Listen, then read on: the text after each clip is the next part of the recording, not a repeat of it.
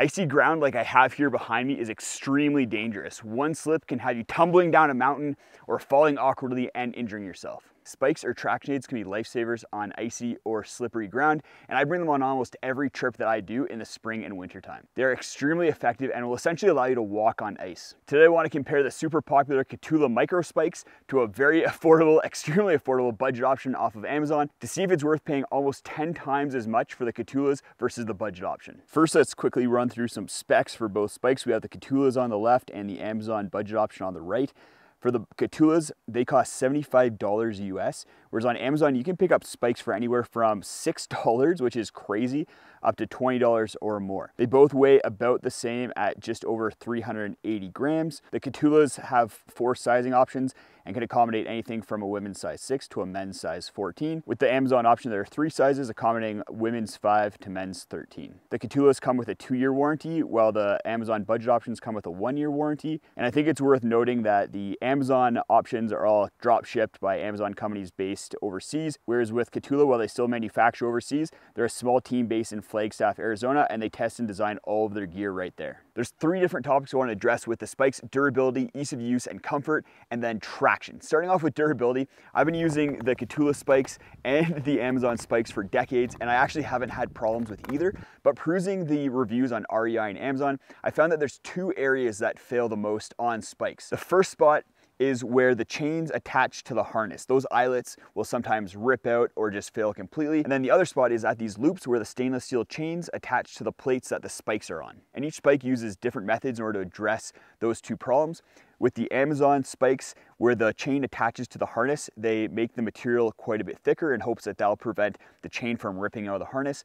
With the Kahtoola spikes, they actually have a patented method of dealing with that problem. They have a reinforced TPU eyelet that's integrated into the harness material. And they told me that since they introduced this feature, they haven't had basically any eyelets ripping out of the harness. And that's awesome innovation and something that I really like to see from companies. For the loops where the chain attaches to the spike plates, the Amazon spikes don't really do much in order to address that problem, but the Kahtoola spikes, they use 10 to 20% thicker stainless steel compared to the Amazon spikes, and that's for the entire product. That's not just for the loops that attach the chains, that's for the chains and the spikes. Has also done a lot of design at this point in order to make it so that it's gonna fail as little as possible. And with both spikes, I think the biggest issue where we're seeing durability issues is when people are buying a size that isn't right for the boot or shoe that they're using with the spikes. When you have a poorly fitting spike, they're gonna be loose on your shoe, and as you're walking up really hard ice, that's gonna be creating a lot of torque on all these connection points. As well as you're walking, you could have some weird overlap that occurs, especially at these loops that attach the plate to the chain,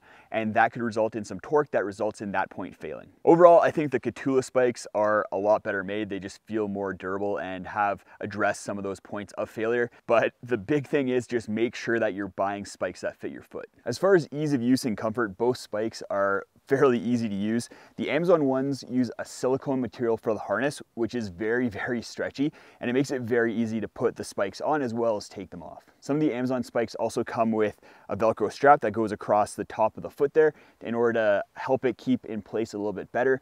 The Kahtoola ones don't have that, but I find it's unneeded because they've designed the harness so well and it has such good coverage over the forefoot of your shoe that it just stays locked in really easily. I also find that the stretchier silicone material that the the Amazon spikes use makes it so that you do get more shifting of the harness and the spikes on your foot and sometimes you don't get the most snug fit on your shoe or boot. Whereas the Kahtoola spikes are made with a TPE that's a little bit stiffer. It makes it slightly harder to get on and off, but I think it locks the harness onto your shoe or boot a little bit better. As for traction, I've been A-B testing the spikes. I've had one on my left foot, one on my right foot, and I've noticed a difference in traction, and that's because of a few different factors. Some of the similarities between the two is that both use 11 to 12 millimeter spikes, so that's a good length to get good grip on ice or hard pack snow. The Kahtoola spikes have 12 spikes on the bottom here, eight at the front, four on the back, whereas most Amazon spikes have 20 or more spikes on there. And there seems to be an arm race on Amazon with how many spikes they can fit onto one of these traction aids, but does having more spikes actually help or does it hinder? Surprisingly, more spikes isn't always better.